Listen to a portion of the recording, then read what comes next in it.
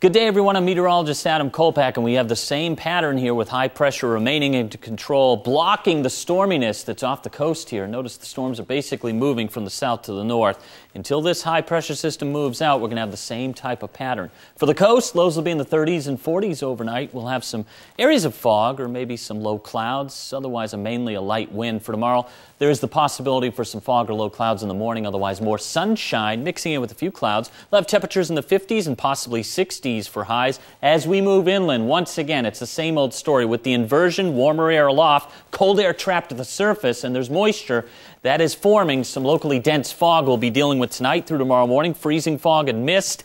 Please drive carefully overnight tonight and also tomorrow morning if you'll be out and about.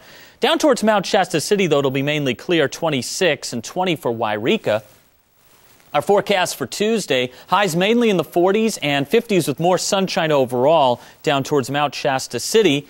We're going to have the fog and freezing fog, low clouds, mist during the morning for the valleys, and some more sunshine breaking out during the afternoon. East of the Cascades, it's just going to be chilly, but the air is drier. That's why they're not dealing with any real dense fog right now or freezing fog. 11 or excuse me, 10 for the low temperature for Alturas, 18 for Klamath Falls, 34 above the inversion there for Crater Lake.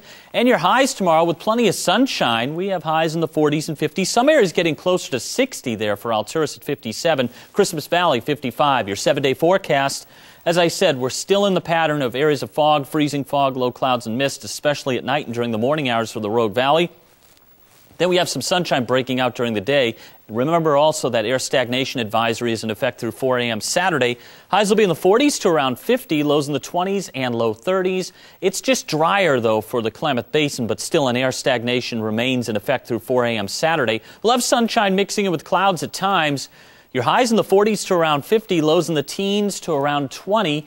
And Mount Shasta City, your highs mainly in the 50s to around 60, lows in the 20s uh, to around 30. We'll have sunshine mixing in with some clouds at times. And for the coast, I did put in a slight chance for some rain or light drizzle on Wednesday with a weak disturbance trying to move in and break down our ridge. Not a great chance. Outside of that, we'll see sunshine mixing with clouds, maybe some areas of fog and low clouds, especially at night during the morning hours. Then Thursday and Friday, an offshore flow. So that means warming, especially down towards Brookings. So I had highs in the 60s. Another slight chance for rain on Monday. That's way out in the seven day. Your lows will mainly be in the 30s and 40s.